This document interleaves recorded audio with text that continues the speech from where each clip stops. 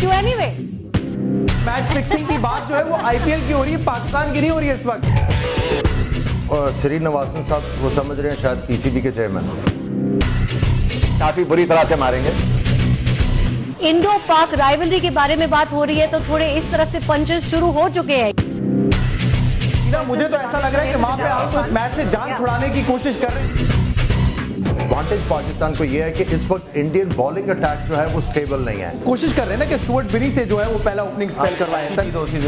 और उनके ओपनर को आपके बाद हमने कोई अच्छा फास्ट बॉलर देखा ही नहीं। You agree with that I mean you got give it back Sachin Tendulkar ने जिताए थे जो कि आप टीम का हिस्सा ऑब्वियसली नहीं है। कितना बड़ा फैक्टर है ये? बहुत बड़ा फैक्टर है। मैं आपसे पूछना चाहता हूँ कि आपके पैनलिस्ट का पाकिस्तान का वर्ल्ड कप जीतने में कितना कॉन्फिडेंस है? वर्ल्ड कप ऑस्ट्रेलिया में हुआ सिर्फ़ पाकिस्तान नहीं जीता और किसी ने नहीं जीता।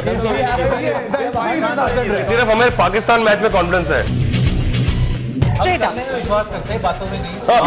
उम्मीद करता हूँ कल आपके पैनलिस्ट और दो रोज के बाद आपके जो क्रिकेटर्स हैं वो कुछ एनर्जी ड्रिंक पी के आएँगे। to you four now to make sure that he's not able to say that tomorrow. He, that was a shot at all of you. We will be talking uh, to Sama TV again tomorrow. India's uh, big game with Pakistan. Mission Melbourne LOC फिर आ रहा है रात 10 बजे सिर्फ समा पर देखने का है भाई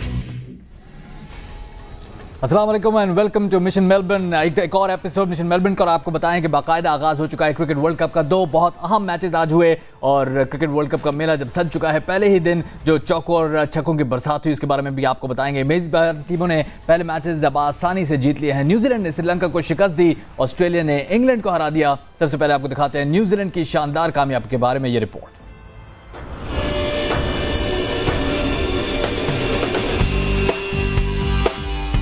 क्राइस्टचर्च में कीवीज छा गए। वर्ल्ड कप के पहले ही मैच में लंकन शेर न्यूजीलैंड से हार गए। मैच से पहले बादल बरसे मैच शुरू होते ही कीवीज गरजे।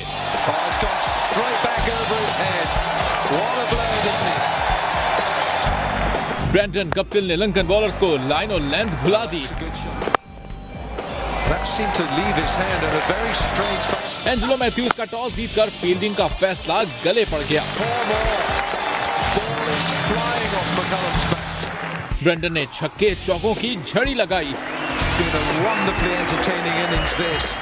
ओपनिंग जोड़ी 111 रन पर टूटी। लेकिन कीवीज बल्लेबाजों का हौसला बढ़ता ही चला गया। आइलैंडर्स ने छह विकेटों पर 331 रन बनाए। कॉरी एंडरसन पिछहत्तर रन बनाकर नुमाया रहे।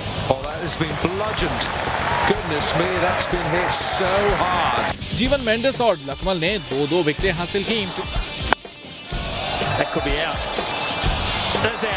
जवाब में लंकन बल्लेबाज बॉलर से भी दो हाथ आगे निकल गए। ओपनिंग जोड़ी ने सड़सठ रन का आगाज़ फराहम किया लेकिन दिलशान के आउट होते ही विकेटें तसलसल से गिरती चली गईं। फीमा ने पैंसठ रन बनाकर नुमाया रहे। पूरी लंकन टीम 233 रन पर ढेर हो गई। कॉरी एंडरसन बैटिंग और बॉलिंग में शानदार कारकर्दगी पर मैन ऑफ़ द मैच रहे। और इस तरह को होस्ट न्यूजीलैंड ने अट्ठानवे रन से के एक बहुत बड़े मार्जिन से श्रीलंका को शिकस्त दी। आज हमारे रेगुलर पैनलिस्ट जो हैं, आमिर सुहेल साहब हमारे साथ मौजूद है एक्सपर्ट लेकिन साथ साथ आज हमारे पास तौफीक उमर और हमारे पास तनवीर अहमद साहब भी मौजूद हैं। इनसे भी बात करेंगे, क्योंकि आपको पता है पाकिस्तान और इंडिया का मैच भी कल होने वाला है और उस पर भी बहुत सारी हमारी डिस्कशन होगी। लेकिन पहले इस मैच के बारे में बात करेंगे। आमिर भाई किस तरह से आप देखते हैं आज की जो स्ट्रैटेजी थी न्यूजीलैंड की? देखिए न्यूजीलैंड की टीम है, मेरे ख्याल में वो बहुत ज़्यादा कॉन्फिडेंट है। अगर आप उनका जो सबसे अच्छा जो उन्होंने टूर्नामेंट खेला हुआ है वर्ल्ड कप्स में तो वो 92 का था। उसमें उन्होंने बहुत ज़्यादा डोमिनेट किया हुआ था। उन्होंने बहुत बहुत बड़ी टीमों को अपसेट किया और सरप्राइज़ किया सबको। लेकिन इस दफ़ा की जो टीम है, वो थोड़ी सी डिफरेंट है एटीट्यूड भी डिफरेंट है कॉन्फिडेंस भी बहुत ज़्यादा है। हर प्लेयर को पता है उनका रोल क्या और हर किसी को अपनी गेम का पता है। लेकिन जो सबसे इंपॉर्टेंट चीज़ है इस टूर्नामेंट में, जहाँ पे ये टीम बहुत ज़्यादा ख़तरनाक होती है रन्स तो कंसिस्टेंटली कर रहे हैं इनका जो सबसे ख़तरनाक चीज़ वो ये है कि लास्ट वर्ल्ड कप में रॉड लेथम एक और इनके मीडियम पेसर ऑलराउंडर थे। आ, बड़ा हमारे साथ क्रिकेट खेले अभी नाम स्लिप कर रहा है प्रिक्रिस हैरिस थे। और ये वो बॉलर थे जो आ, बहुत ही हल्की पेस से बॉल करते थे। गेवन लार्सन वो वो भी खेले थे। अब इनके पास इस तरह का कोई बॉलर नहीं है। अब इनके पास जो हैं वो सारी तगड़े बॉलर हैं। एक 145 और 50 के करीब कर रहा है। दूसरे जो ट्रेंड बोल्ट है, वो भी 140 के करीब कर रहे हैं। साथ में गेंद को स्विंग कर रहे हैं। सऊदी एक्सपीरियंस है।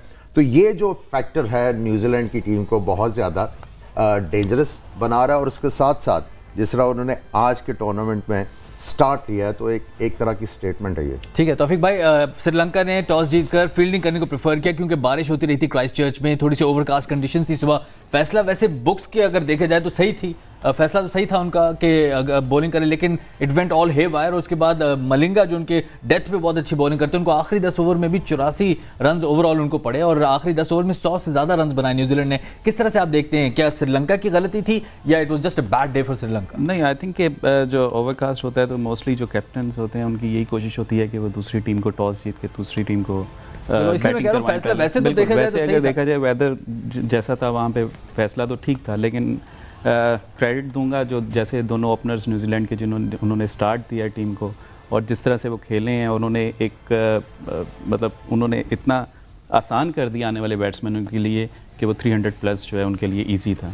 तो आई थिंक कि न्यूजीलैंड टीम जिस तरह आमिर भाई ने कहा, बहुत बैलेंस और कॉन्फिडेंस नज़र आ रही है। ये सिर्फ़ इस मैच में नहीं, इससे आप पीछे भी चले जाएँ। अगेंस्ट पाकिस्तान उसके अलावा उन्होंने साउथ अफ्रीका को जो है वो प्रैक्टिस गेम में उन्होंने हराया आई थिंक मतलब वो मैं समझता हूँ कि one of the favourite team in this world cup Tanvir भाई आप भी मानेंगे फेवरेट टीम है New Zealand one of the favourite team देखिए ज़ाहिर सी बात है जिस तरीके से उनकी परफॉर्मेंस वर्ल्ड कप से पहले जा रही है और जिस तरह उन्होंने परफॉर्म किया आप न्यूजीलैंड की टीम में ये देखें कि इंडिविजुअल इन लोगों की परफॉर्मेंसेज इतनी ज़्यादा नहीं होती। कंट्रीब्यूशन होता है बहुत ज़्यादा। बैटिंग में भी देख लें आप बॉलिंग में भी देख लें। देखो तीन फिफ्टीज थी मतलब इतने बड़े स्कोर में कोई हंड्रेड भी नहीं था। हाँ, नहीं कोई हंड्रेड भी नहीं था। आप बॉलिंग साइड में देख लें तो सबकी परफॉर्मेंस अच्छी है। इनकी न्यूजीलैंड की टीम में आप ये देखें तीन सौ इकतीस रन इकतीस रन इन्होंने किए हैं। आपके 300 प्लस रन उसी सूरत में होते हैं जब आपके ऊपर से जो ओपनर्स होते हैं उनकी पार्टनरशिप बड़ी होती है। आप देख लें अ, 111 रन की 110 की पार्टनरशिप थी। तब जाके उसके साथ फिर ये होता है कि जो आपका मिडल ऑर्डर होता है, वो फिर सपोर्ट करता है ओपनर्स को। वो विलियम विलियमसन ने किया। विलियमसन के आने से इनकी जो मिडल ऑर्डर है, इतना ज़्यादा स्ट्रॉन्ग हो गया है, क्योंकि वो हर मैच में रन करता है। फिर वो उसने कैरी किया, उसके बाद जाके जो कोरे एंडरसन है, उसने पचहत्तर रन किए।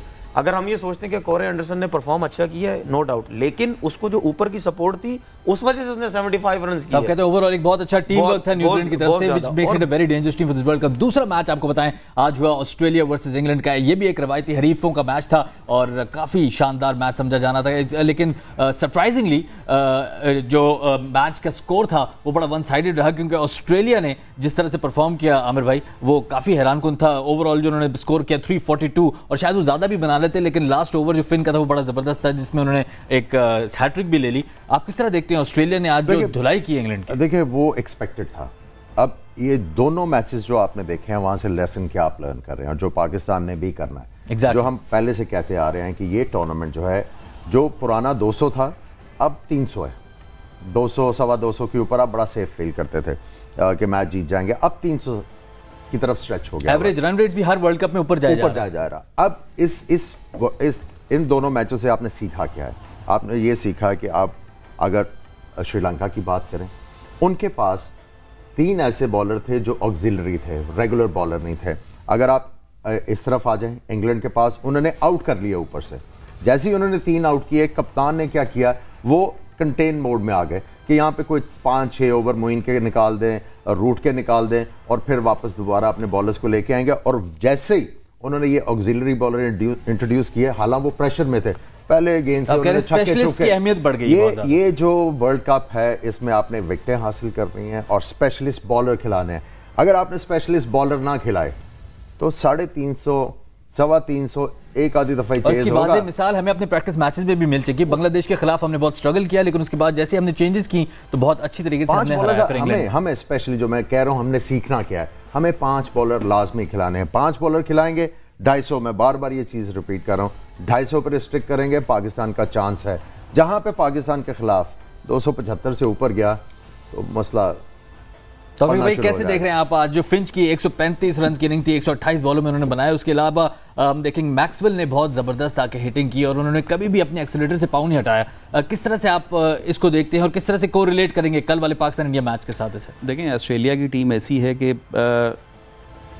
इसके अगर जल्दी दो से तीन जैसे आज भी इनके दो तीन आउट हो गए जल्दी लेकिन फिर ये इतने इनके नीचे इतनी स्ट्रेंथ है कि ये 300 प्लस रन्स कर सकते हैं। ये बहुत कम टीमें हैं कि जो ऊपर से अगर अर्ली विकेट्स गिर जाती हैं तो आप देखेंगे नॉर्मली टीम्स जो है वो 250 मैक्सिमम 270 इससे ज़्यादा नहीं करती। लेकिन ऑस्ट्रेलिया एक वाहिद टीम है, जो अगर आप देख लें, जो 2003 वर्ल्ड कप में वो मैच में भी खेल रहा था अगेंस्ट पाकिस्तान हमने चार आउट कर दिए थे 40 पे, लेकिन वो फिर 300 प्लस कर गए थे। तो ऑस्ट्रेलिया की हिस्ट्री ये है कि उनके जो नीचे वाले बैट्समैन हैं, वो अपनी गेम चेंज नहीं करते।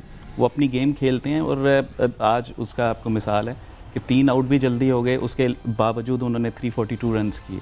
तो आई थिंक ये चीज़ जो है वर्ल्ड कप में ऑस्ट्रेलिया को ये एक एज है और लेकिन जिस तरह इंग्लैंड ने शुरू किया था अपना रन चेज लग रहा था कि शायद वो पहुँच जाएँगे वहाँ तक लेकिन where did it go wrong for England देखिए इतना बड़ा टोटल आपने अगर हासिल करना है तो जिस तरीके से स्टार्ट हुआ स्टार्ट तो बहुत ज़बरदस्त हुआ लेकिन उसको कैरी किसी ने नहीं किया। इतने बड़े रन्स में आपके ओपनर्स को बड़ी इनिंग खेलना बहुत ज़रूरी है। वो वो नहीं खेल सके। उसके बाद आप देखें, जिस तरीके से ये टेलर ने आके नीचे 98 रन किए और कितना कॉन्फिडेंस के साथ और अपना नेशनल गेम खेल रहा था। तो इसी वजह से टू नाइन्टी किया। लेकिन इतनी बड़ी इनिंग के लिए आपको मिडल ऑर्डर ओपनर इनको स्टार्ट देना बहुत ज़रूरी है, जो कि मैंने इनके स्टैट्स भी देखे इंग्लैंड के जो प्लेयर्स हैं, इनका इंग्लैंड ऑस्ट्रेलिया में ऑस्ट्रेलिया का गेस इनका रिकॉर्ड इतना अच्छा नहीं है। जिससे ज़ाहिर होता है कि इनकी परफॉर्मेंस ऑस्ट्रेलिया के अंदर अगेंस्ट ऑस्ट्रेलिया स्ट्रगल करते हैं। इवन कुछ प्लेयर्स ऐसे भी हैं जो इंग्लैंड के अंदर भी ऑस्ट्रेलिया के स्ट्रगल की है। तो मतलब वही बात है जिस इंडिया पाकिस्तान का हमारा आपस में मैच जरा होता है प्रेशर का होता है, इस तरह ऑस्ट्रेलिया और इंग्लैंड का भी होता है। तो मेरे ख्याल में ऑस्ट्रेलियन ज़्यादा मेंटली स्ट्रॉन्ग है वो खुल के बिल्कुल उन्होंने आज तो दिखा भी दिया ऑस्ट्रेलिया ने कि उनकी मेंटल स्ट्रेंथ क्या है और उन्होंने ये भी बता दिया है स्पेशली न्यूजीलैंड ने भी ये बता दिया है कि ये टूर्नामेंट किस तरह खेला जाना है। हर टूर्नामेंट का खेलने का अंदाज डिफरेंट होता है और शायद आज जो ऑस्ट्रेलिया और न्यूजीलैंड ने स्कोर किया है उन्होंने एक तरह से सेट कर दिया टोन के इस वर्ल्ड कप में हम क्या देखने जा रहे हैं। छोटी सी ब्रेक ब्रेक के बाद वापस आके बात होगी उस मैच की इसका दो अरब लोगों को इंतज़ार है। छोटी सी ब्रेक उसके बाद बात करेंगे पाकिस्तान वर्सेज इंडिया की।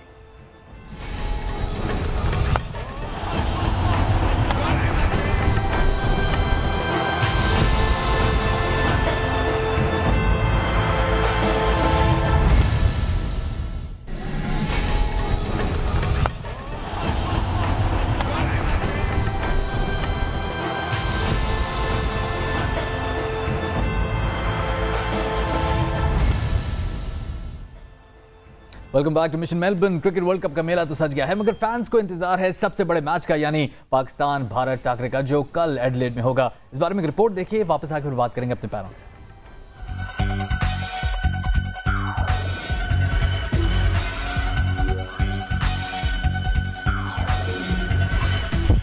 पाकिस्तान के कूचे कूचे में, भारत के कोने कोने में।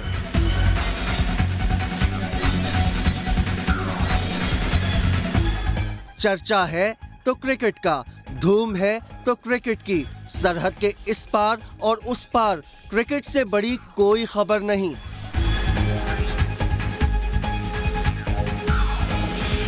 क्या बड़े, क्या छोटे, सब पर एक ही धुन सवार है। इंतज़ार है तो बस पाक भारत टाकरे का।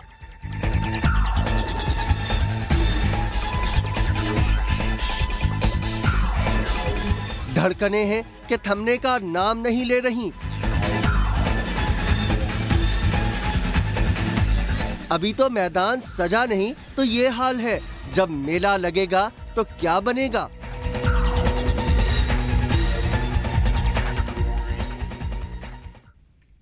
कौन जीतेगा? ये इतना बड़ा मैच है। वर्ल्ड कप के सबसे बड़े मैच के लिए पाक भारत मुकाबले का फाते कौन होगा? समा की मलिका ने ये सब कुछ बता दिया ये आपको भी दिखाते हैं।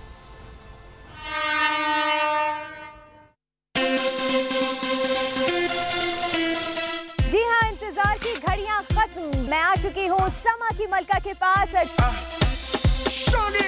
अगर मलका आती है और वो इंडिया के बॉक्स से खाती है तो इसका मतलब यह है कि इंडिया जीतेगा। अगर मलका फ्रूट्स खाती है पाकिस्तान के डब्बे से तो इसका मतलब है कि मैदान शाहीन मारेंगे। तमाम लोग ये जानना चाहते हैं कि आखिर ये मार्का जीतेगा कौन? आगाज़ हो चुका है। हम आ चुके हैं समा की मलका के पास। शोएब जज इस वक्त मौजूद है मलका के पास और हम शुएब जट को बोलेंगे शुएब जट मलका को ले आइए।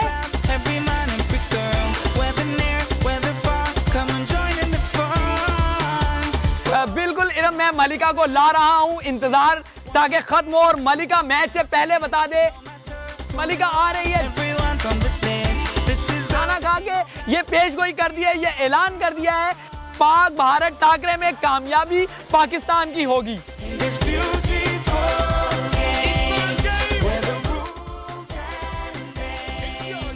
जी हाँ बिल्कुल, मलका ने हमेशा बिल्कुल सही पेशगोई की है। आज भी मलका ने पेशगोई कर दी है कि पाकिस्तान जीतेगा।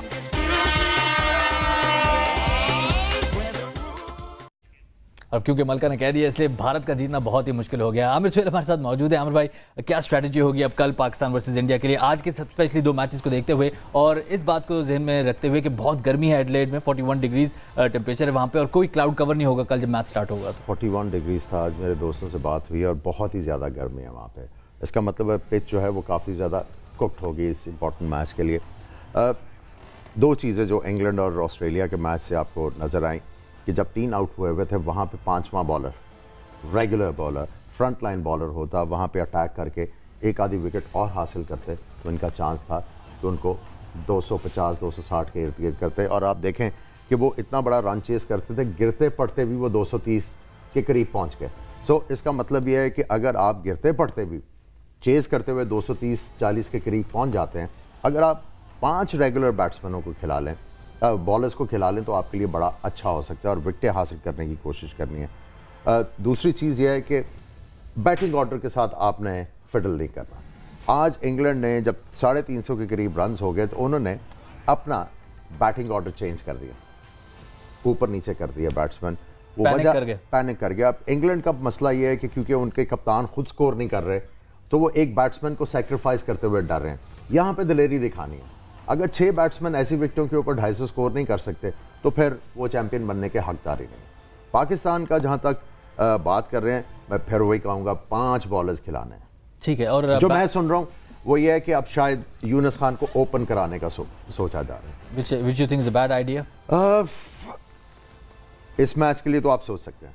इस मैच के लिए सोच सकते हैं ये क्रंच मैच है। फिर फिर आप उसके आगे जब आपने जाना है कि आप समझते हैं कि डेल स्टेन और इनके साथ कंसिस्टेंटली आपको परफॉर्मेंस मिलती रहेगी। ये सारी चीज़ें सोचने के बाद आपने फैसला करना है। फैसला आपने वो करना है जो जो परसेंटेज ज़्यादा दे आपको सक्सेस की। प्रोबेबिलिटी बढ़ जाए। प्रोबेबिलिटी बन जाए। ये पॉसिबिलिटी के ऊपर नहीं रहना आपने। प्रोबेबिलिटी के ऊपर ज़्यादा जाना है। तो अगर ये सोच समझ के फैसला करते हैं और अगर यूनस जो हैं वो कहते हैं okay I am up for the task लेकिन उसमें ये देखें कि आपने दोनों प्लेयरों का कॉम्बिनेशन भी देखना है। अहमद शहजाद बेसिकली जो है वो स्ट्रोक मारने वाला प्लेयर है। अगर उसको दूसरी तरफ़ से स्ट्राइक स्ट्राइक रोटेट नहीं होता वो एजिटेट होना शुरू हो जाता। और हमने अक्सर देखा है कि वो एजिटेट जब- होके फिर हो फिर आउट हो। जाते हैं। सो आपने जो भी कॉम्बिनेशन बनाना है वो ऐसा बनाना है कि दोनों प्लेयर्स जो हैं ओपनर्स क्योंकि ओपनर्स बड़े इंपॉर्टेंट हैं यहाँ पे। दोनों प्लेयर्स जो हैं एक दूसरे को कॉम्प्लीमेंट करें। ये ना हो कि दो मेडन ओवर उधर से खेले जाए और वो निकल के मार दे और आप आपको मुसीबत पड़ जाए। ठीक है तोफिक भाई आपको लगता है कि अगर पाकिस्तान टॉस जीता है पाकिस्तान को बैटिंग करनी चाहिए बोलें। आई थिंक कि पाकिस्तान की जो हिस्ट्री है वो चेज़ में इतनी अच्छी नहीं है और आज भी आप देख लें कि जो दोनों टीमों ने पहले बैटिंग की तो वो मैच जीते हैं। तो आई थिंक कि पाकिस्तान को पहले बैटिंग करनी चाहिए अगर वो टॉस जीतते हैं। और जहाँ तक बॉलर्स का आमिर भाई की मैं बात बिल्कुल सेकंड करूँगा कि पाँच बॉलर्स के साथ ज़रूर जाना चाहिए। इसमें ये चॉइस नहीं होनी चाहिए जी कि यूनस खान बॉलिंग कर लेगा या अहमद शहजाद कर लेगा क्योंकि यहाँ पे अब क्योंकि पाँच फील्डर्स जो हैं वो आपने थ्रू आउट जो है वो अंदर रखने हैं। तो उसमें नॉन रेगुलर बॉलर के लिए बहुत मुश्किल हो जाएगा कि वो कंटेन कर सके। तनवीर भाई भारत की तरफ़ से एक चीज़। ऐड करना चाहूँगा। आज आप देखें जो ऑफ़ स्पिनर है जिन्होंने आज 66 पे किया ऑस्ट्रेलिया के ऑलराउंडर जो हैं मैक्सवेल। उन्होंने चार ओवर में 35 रन दिए। अब दूसरे मैच पे चले जाएँ जिन्होंने नॉन रेगुलर बॉलर्स थे उन्होंने बॉल किया उनको बहुत ज़्यादा स्कोर हुआ। इंग्लैंड के भी बॉलर्स देख लें इंग्लैंड के भी बॉलर्स देख लें। उनको रूट को बॉल करवाए पहले ओवर में 11 रन आप मोइन अली के देखें कितने रन हुए। अगर आपको विकेट भी नहीं मिल रही और ऐसे बॉलर्स को बॉल करवा के अपने ऑपोजिशन को मैच में वापस ले आना तो फिर इनसे बॉल ना करवाएँ। एक फ्रंट लाइन बॉलर खिलाएँ। ठीक है फ्रंट लाइन बॉलर्स की बात हो रही है आपको लगता है स्पिनर हमारे जो हैं यासिर शाह वो कुछ कमाल दिखा सकेंगे एडिलेड के विकेट पर? देखें सबको पता है इंडियंस जो हैं स्पिनर्स वो बहुत अच्छा खेलते हैं लेकिन इंडियन उनको ये पता है वो इसको अभी तक खेले नहीं है। अ, अगर आप मुझसे पूछें तो मैं ये समझता हूँ कि इसको टीम में होना चाहिए कल के मैच में। उसकी वजह ये है क्योंकि लेकिन कितना इम्पैक्ट डाल पाएगा? देखिए- will be able to stop the runs हाँ, नहीं वो तो करेंगे रन मेकिंग मशीन है बल्लेबाज जो उनके लेग स्पिनर जो होता है उसके लिए लाइन बनाना या विकेट्स लेना बड़ा मुश्किल होता है। अगर उसकी लाइन नहीं बनी तो बड़ा प्रॉब्लम हो जाएगा। लेकिन अगर लाइन बन जाती तो फिर उसको खेलना बहुत मुश्किल होता है। मैं उसको इस वजह से टीम में देखना चाहता हूँ क्योंकि उसने जो ऑस्ट्रेलिया के अगेंस्ट परफॉर्मेंस की, दी है, बेशक टेस्ट क्रिकेट में दी है, लेकिन इतनी बड़ी टीम के खिलाफ जब एक नया लड़का परफॉर्म करता है, उसका कॉन्फिडेंस लेवल बहुत ज़्यादा हाई होता है। तो उसको टीम में होना चाहिए। दूसरी चीज़ ये कि उसकी जो पाकिस्तान टीम का कैप्टन है, वो इसके साथ खेलता है। डोमेस्टिक क्रिकेट भी साथ खेलता है। तो वो बहुत ज़्यादा की रोल प्ले करेगा इसको कॉन्फिडेंस देने में। तो इसको टीम में होना चाहिए। बिल्कुल, कैप्टन- जो कैप्टन के रोल पर भी बात करेंगे, लेकिन वक्त- एक थोड़ी सी बात। बाकी जो बॉलिंग की बात है कि रेगुलर बॉलर बिल्कुल खेलने चाहिए क्योंकि अब जो फ़ील्ड प्लेसिंग हो गई है अगर दूसरी टीम ऊपर से नहीं भी आउट हुई अगर आपके पास रेगुलर बॉलर भी है उसके बावजूद भी आपको इतने रन लगेंगे लास्ट ओवर्स में इसीलिए कि नॉन रेगुलर बॉलर के साथ बिल्कुल भी आपको जाने की ज़रूरत नहीं है। पाँच बॉलर बहुत ज़रूरी हैं आपके लिए। आमिर भाई हमने आज देखा कि आखिरी 10 ओवर्स में 100 से ज़्यादा रन दोनों मैचेस में पड़े। पाकिस्तान के पास क्या स्ट्रैटेजी होगी इंडियन बैट्समैन को आखिरी 10 ओवर में कंटेन करने के लिए? आप तो कह रहे हैं कंटेन नहीं करना चाहिए we should go for the kill लेकिन अगर नौबत इस पर आ जाती कि आखिरी 10 ओवर तक वो ऑल आउट नहीं हुए हैं तो व्हाट इज़ आवर स्ट्रैटेजी देखिए आपके पास ऑप्शन हैं। इरफान है। एक्स्ट्रा बाउंस से वो फ़ायदा हासिल कर सकते हैं जिस उनके कद की वजह से अब जो इंडियन बैट्समैन है वो कुर्सी रख के जी जी उसके ऊपर वो प्रैक्टिस कर रहे हैं कि बाउंस को किस तरह हमने डील करना है। आपके पास वो ऑप्शन है। शाहिद अफरीदी के पास बहुत ज़्यादा एक्सपीरियंस है। उसके बाद सुहेल खान जो है वो यॉकर मार लेते हैं एंड में आके। ऑप्शंस हैं आपके पास। लेकिन आपने ये देखना है कि बॉलिंग यूज़ किस तरह आपने करनी है। कौन सा बैट्समैन जो है इस वक्त किस लाइन के ऊपर स्ट्रगल कर रहा है? जिस तरह शेखर धवन है वो काफ़ी ज़्यादा बिहाइंड द स्टम्प्स आउट हुए हैं। उसमें सुहेल खान आपको काफ़ी ज़्यादा यूटिलिटी लेके आ सकता है। और अब आपने ये देखना है कैप्टन ने कि ये सारे पाँच छः बॉलर जो मैंने कर, बॉल करवाने हैं इंडिया के प्लेयर्स जो हैं किसके किस किसको टारगेट करेंगे? टारगेट दो बंदे होंगे एक सुहेल खान होंगे और दूसरे यासिर शाह होंगे। और ये दोनों अच्छा, बॉलर को भी वो टारगेट कर सकते हैं वैसे। हमने देखा पहले वो करते रहे अफरीदी को करते रहे अफरीदी अगर गेंद पाँव में मारेंगे अगर पीछे करेंगे और विकेटों के बाहर करेंगे तो फिर उनको मार पड़ेगी। इस मैच में उनको विकेटों के अंदर बॉल करना है और आगे फेंकने की कोशिश करनी है। ये दोनों बॉलर्स टारगेट होंगे। और ये दो जब बॉलर टारगेट होंगे तो मेरा अपना ज़ाती ख्याल है अगर कप्तान उनको सही तरह समझा के उनको सही रोल दे के बॉलिंग करवाएगा तो वो विकटें हासिल करेंगे जब ये टारगेट होंगे। बात बात में बात यही आ रही है कि मिसबा का अहम किरदार होगा। मिसबा ने कॉन्फिडेंस देना है और कैप्टन रोल अदा करना है फ़ील्ड पर भी और अपने प्लेयर्स के साथ भी। इस पर भी बात करेंगे कि मिसबा का क्या रोल होना चाहिए कल और इंडियन बॉलिंग के बारे में भी तफसील बात करेंगे इस छोटी सी ब्रेक के बाद।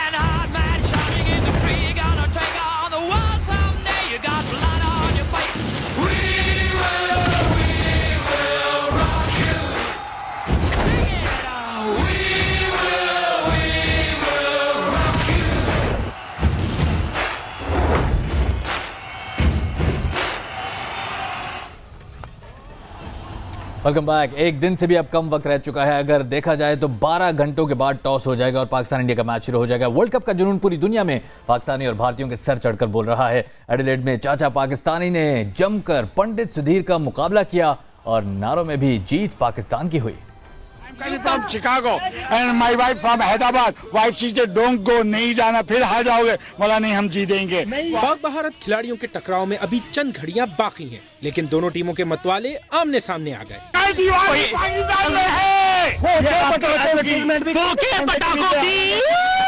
एडलेड में पाकिस्तानी चाचा और भारतीय पंडित सुधीर भी टकरा गए। चाचा पाकिस्तानी ने ससुरालियों का तिरंगा भी पहना लेकिन बीवी की बात नहीं मानी।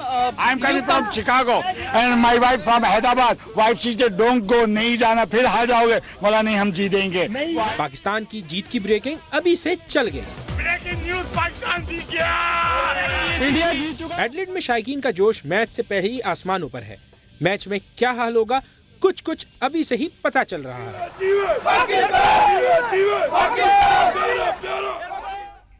जी हाँ एक्साइटमेंट बढ़ती जा रही है और आज हम इस टॉपिक को इंडिया के साथ भी डिस्कस करेंगे। इंडियन पैनलिस्ट भी हमारे साथ होंगे। टाइम्स नाउ से रात 10 बजे आप ये हमारा खसूसी प्रोग्राम देखेंगे, जो इंडियन चैनल के साथ और समा टीवी हम दोनों यहाँ पर हम मौजूद होंगे और बात होगी कल होने वाले पाकिस्तान इंडिया मैच की। लेकिन इस वक्त हमारे साथ हमारा पैनल मौजूद है और हम बात कर रहे हैं मिसबाउल हक का क्या किरदार होना चाहिए कल। बहुत इम्पोर्टेंट उनको जो है वो प्रो एक्टिव होना पड़ेगा। उनको नज़र, उनको दिखाना पड़ेगा कि वो कप्तानी कर रहे हैं। ये नहीं कि वो बस एक जगह पे खड़े हुए हैं और जो वो बॉलर को कह रहे होता जा रहा है। उन्होंने रिएक्ट करना है और पॉजिटिवली रिएक्ट करना है, सोच समझ के फैसले करना है।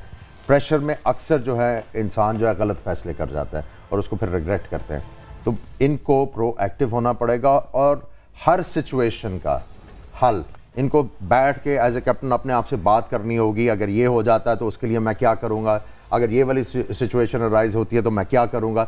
इनके पास हर चीज़ का जवाब रेडिली अवेलेबल कंटिजेंसी प्लान होने चाहिए लेकिन आप देखिए हमारे पास जो तीन बॉलर्स हैं उन्होंने एक एक मैच खेला हुआ है। वन डे इंटरनेशनल की अगर बात की जाए टेस्ट में तो वो खेले हैं लेकिन यहाँ पर उनके पास द लैक इन एक्सपीरियंस तो ये एक्सपीरियंस उनको इम्पार्ट करने के लिए आफरीदी का भी तो किरदार होगा।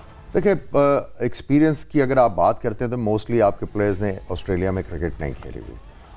पाँच साल का गैप था चार पाँच साल का गैप था वर्ल्ड कप से पहले 2011 और आपके। लेकिन हमने ऑस्ट्रेलिया का कोई टूर ही नहीं किया ना हमने बी टीम का टूर किया कि हमारे जो यंगस्टर जाके वहाँ से कुछ सीख लें। अब ये चीज़ नालिफाई होगी अब वर्ल्ड कप स्टार्ट हो रहा है कल बहुत बड़ा मैच है।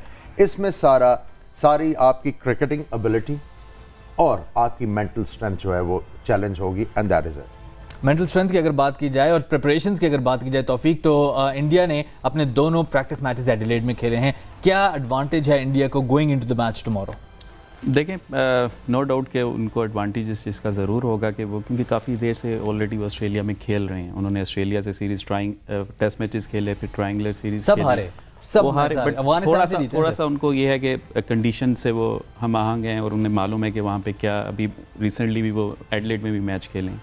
और जहाँ तक मतलब मिसबा का है, मैं यही कहूँगा कि उसको अग्रेसिव कैप्टनसी कल करनी चाहिए।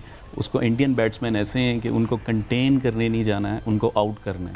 क्योंकि वो कंटेन आप उनको नहीं कर सकते उनको आप आउट करके ही कंटेन कर सकते हम इंडियन बैट्समैन की बात किए जा रहे हैं तनवीर लेकिन हम इंडियन बॉलर्स की बात नहीं कर रहे भुवनेश्वर कुमार जिसके बारे में कहा जा रहा था कि शायद वो फिट नहीं होगा मैच के लिए उसके बारे में खबर आई कि अब वो फिट है और वो कल का मैच खेलेगा। अगर भुवनेश्वर कुमार खेलते हैं जो कि यूजुअली बहुत एक्यूरेट बॉलिंग करता है लेकिन उसके अलावा बाकी इंडियन बॉलर्स जो है वो इतने एक्यूरेट नहीं है। तो किस तरह देखते हैं आप पाकिस्तान के बैट्समैन कैसे काउंटर करेंगे इंडियन बॉलिंग को? देखिए सबसे पहली बात ये है कि भविष्य कुमार अभी अनफिट थे वो इतने मैचेस नहीं खेले। लेकिन मुश्किल होती है हर उस बॉलर के लिए जो मैच नहीं खेल रहा, एकदम से आके मैच खेले तो उसको लाइन बनाना और परफॉर्मेंस देना बहुत मुश्किल काम होता है। बाकी उनकी बॉलिंग लाइन इतनी ज़्यादा स्ट्रॉन्ग नहीं है कि हमारे बैट्समैनों को वो उसमें ट्रबल में डाल सके। अब सिंपल सी क्रिकेट के हिसाब से मैं बात करूँगा, जिस, जितनी हमने क्रिकेट खेली उस हिसाब से। देखिए सिंपल क्रिकेट खेलें, जो इंडियन बैट्समैन है, जो लड़का परफॉर्म कर रहा है, आप उसके ऊपर फोकस करें, आप अगर वो रन्स कर रहा, मिसाल के तौर पर विराट कोहली है, अगर वो परफॉर्म ज़्यादा कर रहा, आप कंसिस्टेंट एक लाइन पे उससे बॉल करवाएँ एक्सपेरिमेंट करने की अपने बॉलरों को बोल दें, ज़रूरत नहीं है। क्योंकि जब आप बिला वजह के एक्सपेरिमेंट करते हैं तो आपसे बॉलिंग भी अच्छी नहीं होती, फिर रन्स भी बहुत ज़्यादा लगते और उसके बाद ये, अगर उनके दो से तीन प्लेयर ऊपर से आउट हो जाते हैं तो उसके बाद आप ऐसी क्रिकेट मत खेलें कि एकदम से आप डिफेंसिव क्रिकेट खेलने लग जाए। अगर दो तीन ऊपर से आउट होते हैं तो आप दोबारा अपने मेन बॉलर्स को लेके आ जाए। आप ये मत सोचें कि अगर इसने पाँच से छह ओवर कर दिए तो मैं दोबारा इसको दो तीन ओवर करवा दूँगा तो बाकी दो ओवर रह जाएँगे। एंड में कौन बॉलिंग करेगा? हमारी ये थोड़ी सी सोच होती है। बाकी आप दूसरी टी, टीमों को देखें वो एकदम से अपने मेन बॉलर्स लेके आते हैं और प्रेशर डालते हैं उनके ऊपर। प्रेशर की बात हो रही है तो भाई क्रिकेट खेलना बहुत ज़रूरी है। क्रिकेट खेलने की बात हो रही है। हम इस मफरूजे पर बार बार बात करेंगे अगर उनके दो तीन खिलाड़ी आउट हो जाते हैं। अगर हम खुदा ना खासा उनके दो तीन खिलाड़ी जल्द नहीं आउट कर पाते तो what is the what is the trick फिर उसके बाद वेयर डू वी गो देखिए आपको हर सिचुएशन का जिस तरह मैंने कहा कि आपके पास जवाब होना चाहिए। और जब आप अग्रेसिव क्रिकेट की बात करते हो तो उसके साथ मैं एक जो वर्ड ऐड करना चाहूँगा। वो ये है कि कंट्रोल्ड अग्रेशन कंट्रोल्ड अग्रेशन वो बहुत ज़्यादा ज़रूरी है।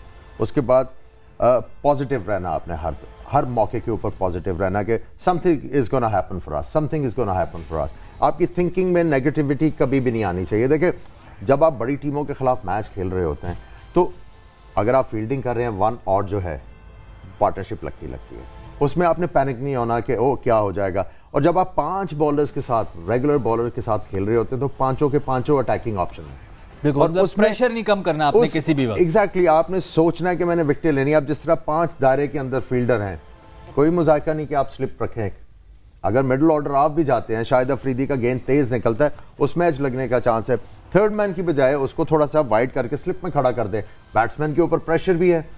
और उसके बाद आपने बैकवर्ड पॉइंट रखा हुआ अगर उधर गेंद जाता भी है तो सिंगल भी नहीं होगी। सो so, आपने पूरी वर्कआउट करके आना है कि मैंने अपने बॉलरों से लेना क्या है? और उनके मुताबिक मैंने फ़ील्ड क्या अच्छा मिसबा की बात कर रहे हैं तो दूसरी तरफ़ विराट कोहली भी एक मिनट में आपके पास आता हूँ लेकिन विराट कोहली का क्या किरदार होना चाहिए? क्योंकि हम हमारे लिए ये फेवर में ये इसलिए है क्योंकि is not been good touch वो थोड़े से आउट ऑफ़ शॉट्स लग रहे हैं। कुछ उनकी कैप्टनसी को चैलेंजेस हैं कुछ धड़ेबाजी हुई हुई है इंडियन टीम में। आपको क्या लगता है कल उन पे क्या प्रेशर्स होंगे when he comes in pressure तो होंगे बट जब जब बड़े प्लेयर होते हैं तो आप बड़े प्लेयरों से अच्छा एक्सपेक्ट क्या वो इतना बड़ा प्लेयर बन चुका है? प्लेयर है आप आपको मानना पड़ेगा प्लेयर है और उसमें एबिलिटी है। हाँ अगर वो जो वीकनेस देखिए सचिन भी बहुत अच्छा प्लेयर था लेकिन एज ए कैप्टन वो फेल हो गया था। कैप्टन फेल हो गए लेकिन विराट जो है वो कल as a as a as a vice captain खेलेंगे।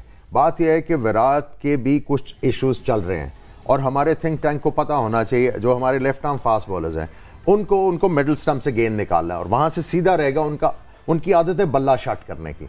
तो आपको वहाँ पे एडवांटेज मिलेगा। जब सुहेल ने बॉल करना है तो उनका एम है ऑफ़ स्टम्प के ऊपर उनको रूम नहीं देना वहाँ से सीधा रहा गेंद तो वो इसी तरह आउट होते आ रहे हैं। अगर आप उनको साउथ अफ्रीका सीरीज़ से मॉनिटर करना शुरू करें तो ये बहुत बड़ा उनका है। या तो वो बल्ला बंद करते हैं या थोड़ा सा ओपन कर देते हैं। ये छोटा सा जो उनकी बैटिंग में फ्लॉ है, इसको एक्सप्लॉयट करना है। और उसके लिए लाइन एंड लेंथ सोच समझ के आएँगे तो विराट कोहली, ठीक है प्रेशर होता है इतने बड़े मैच का, लेकिन प्लेयर है। बट अगर आपने उसको मौका दिया तो वो फिर चढ़ जाएगा। आपने शुरू में ही उसको पकड़ना और ऑफ़ कोर्स धोनी की अगर हम बात करें Dhoni is like an embattled captain embattled captain उसको इतने ज़्यादा चांसेस अगर मिल भी जाते हैं तो लेकिन प्रेशर उस पर काफ़ी ज़्यादा होगा। मिसबा पे आप ज़्यादा प्रेशर देख रहे हैं या धोनी पे ज़्यादा प्रेशर देख रहे हैं कल? देखिए मैं समझता हूँ कि इसमें धोनी पे ज़्यादा प्रेशर होगा क्योंकि वो एज ए फेवरेट जो है वो इस मैच में जा रहे हैं इंडिया। आई थिंक धोनी पे ज़्यादा प्रेशर होगा लेकिन मैं फिर कहूँगा कि धोनी प्रेशर मैच में वो हमेशा अच्छा रिस्पॉन्स करता है अच्छा परफॉर्म करता है। आई थिंक ये चीज़ जो बाहर पाकिस्तान का जो थिंक टैंक है उस चीज़ को उन, उन्हें भी इस चीज़ को देखना होगा कि अगर अंदर कोई उन्हें मैसेज भिजवाना है वो राइट टाइम पे मैसेज भिजवाएँ अंदर क्योंकि उनका रोल भी कल बहुत इंपॉर्टेंट होगा। कैप्टन समटाइम अंदर जो होता है उसको कई चीज़ों की वो समझ नहीं आ रही होती या कुछ वो मिस कर रहा होता है। तो जो लोग बाहर बैठे हैं उनको उस चीज़ को बिल्कुल फोकस करना चाहिए और उनको राइट टाइम पे अंदर मैसेज ज़रूर देना चाहिए कि ये मैसेज तो राइट टाइम पे होना चाहिए लेकिन हमें तो सुनने में आ रहा है कि यूनुस खान ओपनिंग कर रहे हैं तो अगर ये चीज़ होती है तो मेरे तो समझ से बाहर है कि एकदम से इतने बड़े मैच में यूनुस खान को अगर ओपन करवा दी जाए तो ये तो मेरे ख्याल में बहुत बड़ा ब्लेंडर होगा। एक जेनवन एक ओपनर्स के साथ आपको जाना चाहिए। यूनुस खान जिस नंबर पे खेल रहे हैं उनको खेल खेलते रहना चाहिए। आपको लगता है यूनुस खान को टीम में होना चाहिए कल? क्योंकि हमने जो टीम डिस्कस की थी हमने यूनुस खान को अब बाहर बेंच पे रखा था। देखिए मैं मैं ये समझता हूँ कि उनकी फॉर्म तो बिल्कुल भी नहीं है। शोएब मकसूद क्योंकि इतना हाँ, अच्छा खेल रहे हैं। लेकिन इतनी ज़्यादा इश्यूज़ बने जिसकी वजह से उनको टीम में वापस लाया गया। उन्होंने अपने लिए भी बहुत कुछ बोला मैं यूँ कर दूँगा मैं वो कर दूँगा। चला ठीक है। अगर आप इंडिया के मैच में उनको खिला देते हैं तो ठीक है अगर नहीं परफॉर्म होता तो फिर मैं इस हक में कि उनको टीम से ड्रॉप होना चाहिए। चलें ठीक है। नासिर जमशेद की जो आप देखें उनका रिकॉर्ड अगर देखें तो इंडिया के अगेंस्ट काफ़ी अच्छा है। और वो उन, उसकी जो टेक्निक है वो ऑस्ट्रेलिया में वो सूट भी करती है चलें ये भी देखना होगा कि कल अब क्या फैसले होते हैं टीम मैनेजमेंट की तरफ़ से कौन खेलता है कौन बाहर बैठता है और किस तरह कल की स्ट्रैटेजी बनती है। हम यहाँ पे स्ट्रैटेजी डिस्कस करते रहेंगे। आपने देखना नहीं भूलना रात दस बजे हमारा पैनल होगा और इंडियन चैनल टाइम्स नाउ का पैनल होगा और हम गोलाबारी करेंगे लफ्जों की गोलाबारी करेंगे और उनको बताएँगे कि किस तरह पाकिस्तान जीतेगा। हम स्ट्रैटेजीज उनके साथ भी डिस्कस करेंगे। आप देखिएगा समा टेलीविज़न पर रात दस बजे। अभी तक हमें मिशन मेलबर्न से इजाज़त दीजिए। अल्लाह हाफिज़।